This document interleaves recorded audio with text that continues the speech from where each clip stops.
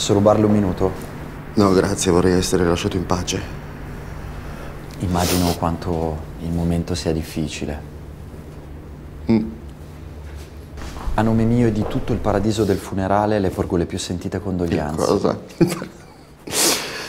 Mia zia è morta da appena tre ore, dai, fate schifo. Fate. Guardi, io capisco perfettamente il suo stato d'animo. Ma tu capisci? Dai, lasciami in pace, che cosa vuoi capire di come sto? No, no, no, mi ascolti, non è come crede. Alex Galli. Allora, ciao Alex, ciao. Io non lo voglio un funerale a 1000 euro tutto compreso, quindi adesso tu ti prendi la tua cartellina e te ne vai fuori dai coglioni. Mi lascio almeno spiegare. No! Ascolta, scusami, va bene, io sono distrutto. Quindi ti prego, lasciami in pace, tanto non comprerai niente, magari tu ci campi, eh, ma no. Forse così ci capiremo meglio, signor Nosari. Ho qui- Ah, ecco qua.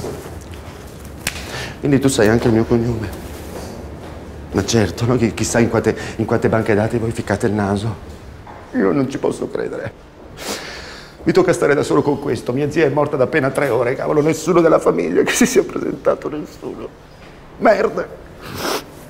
Alex, Alex, ascoltami Alex, caro, io non ho nessuna intenzione di comprare niente al vostro paradiso del funerale. Lascia perdere.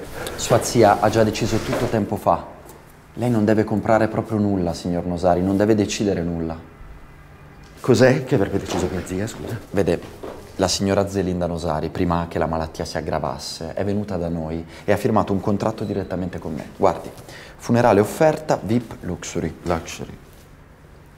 scontata del 35%, comprensivo di pacchetto cremazione e inumazione, cromatura in porcellanato, fanfara barocca in stereo. Ecco qua, 990 euro tutto incluso. Fiori veri in omaggio.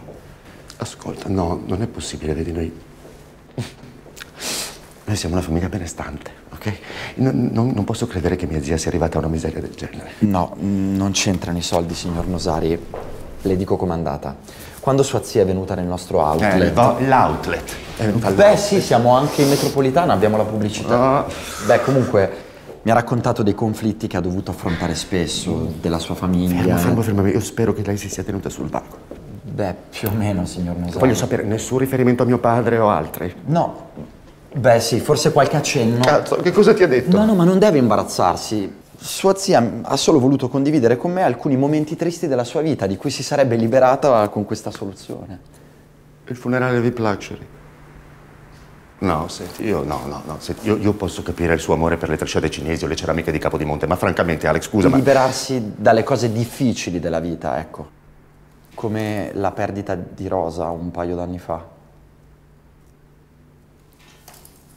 Ti ha detto. Vuoi dirmi che mia zia ti ha detto anche questo?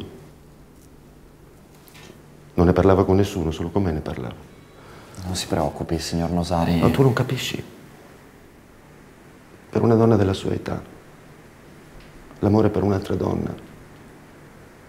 Io ero l'unico a capirla, l'unico che era fiero di lei. Sì, sì, me l'ha ripetuto più e più volte, infatti.